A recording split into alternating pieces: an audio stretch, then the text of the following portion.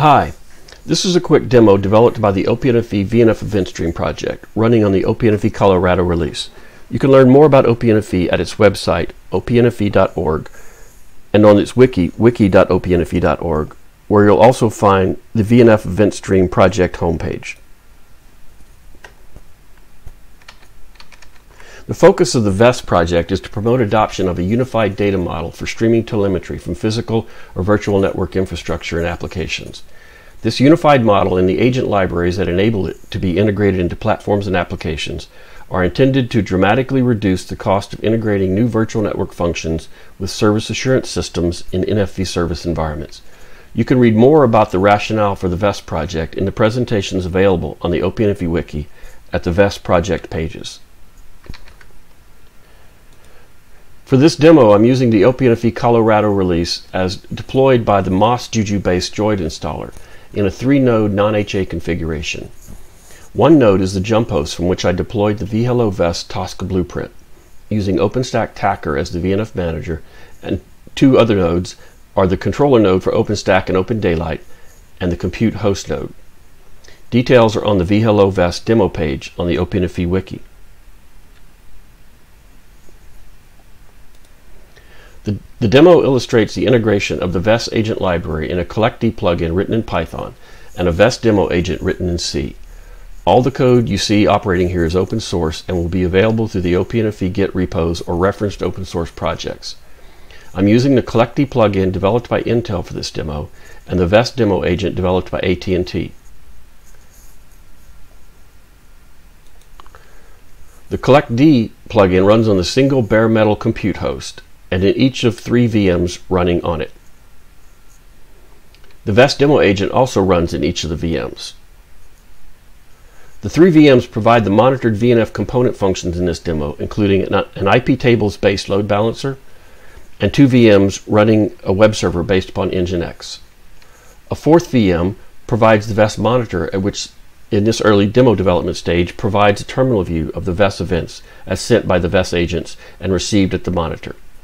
Some minimal processing is done at the events to track key telemetry values related to the test scenarios covered in the demo. Later, we will integrate the VES event data into a full-featured dashboard, such as Grafana.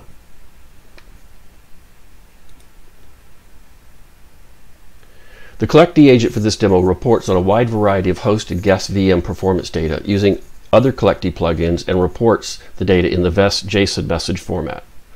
The VES-C agent for this demo reports on application statistics such as transactions per second at the web server instances and delivers the reports in the same format. All the agents send regular heartbeat reports so the collector knows they're in good health. Both the Python and C agent libraries have the ability to generate all the defined VES events. At this point, the demo is already running, having been deployed earlier using Tacker. The scripts and Tosca-based blueprint that were used to deploy the demo are available on the OPNFV VES Git repo. The deployment is kicked off by a bash script called vHello VES, and the entire deployment process is automated. You can see the resulting topology through the OpenStack Horizon dashboard, including the four VMs and the internal and external networks to which they're attached. The deployment is started by cloning the VES repo on the JOID jump host and executing the vHello VES script with the setup option, which installs Tacker and creates the basic network environment for the demo. Running the vHello VES script again with the start option will deploy the blueprint using Tacker as a VNF manager to create the VMs, etc.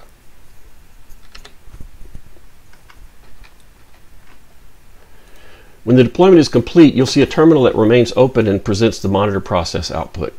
You'll see a fast-scrolling display of JSON data for each event, plus an area at the bottom of the screen which is refreshed upon each event and provides summary of key data sent by the agents for each monitored source.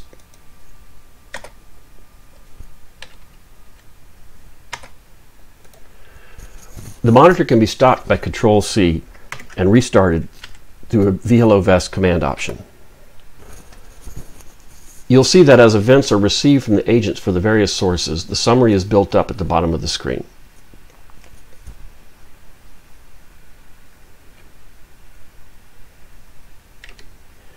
At this time, you can see two key sets of monitored data, CPU usage and application transaction per second, or TPS. There are many, many other parameters that are being received and could be monitored, but this is only an early demo, and the main focus is to show how simple it can be to integrate existing monitoring agents such as CollectD that can deliver a rich set of telemetry data via the VES format event stream. I have two test scenarios that illustrate how the agents will report on observed events at the hosts and VMs.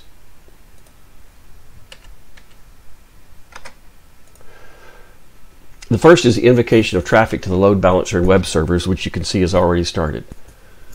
When I start the traffic, you'll see the TPS values for the web servers start changing. The TPS value for the IP tables load balancer is not changing because we haven't developed a plugin for it. The second test scenario is to cause a fault that is reported and when cleared is updated. I did that through the same vHello script with the test pause option indicating which VNF component to pause by the VDU, in this case VDU1. The VDU is the virtual deployment unit for a VNF component, which is provided by one of the VMs. In this case, I'm actually pausing the Docker container in which the web server is running. You'll see the state change to stopped and after a minute, about a minute, change back to started. In the process, if it's working as it should, you would see the TPS for VDU1 go to zero and the TPS for VDU2 take up the slack. But in this case, the IP tables load balancer isn't yet fully configured for that. So you just see VDU1 TPS go to zero and then back up when the Docker container is restarted.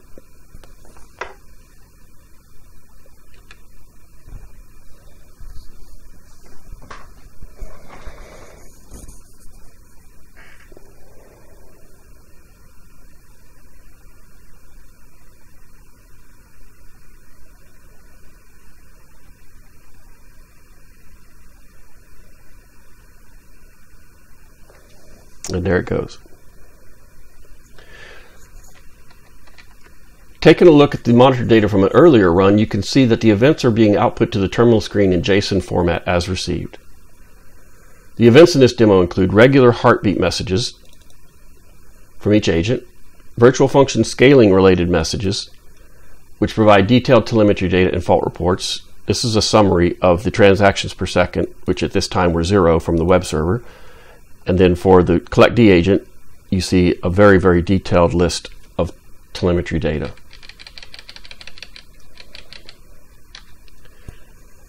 And also fault reports.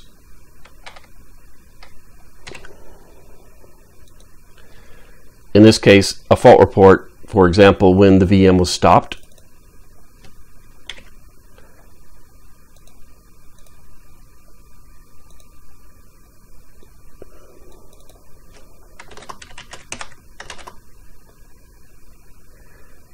and then it was when it was restarted.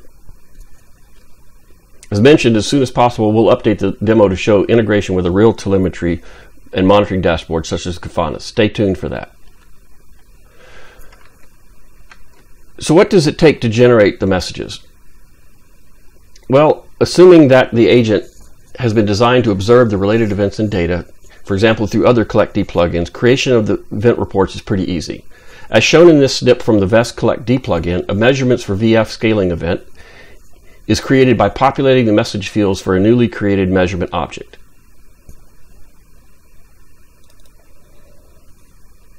The values from the CollectD plugins, for example, CPU aggregation,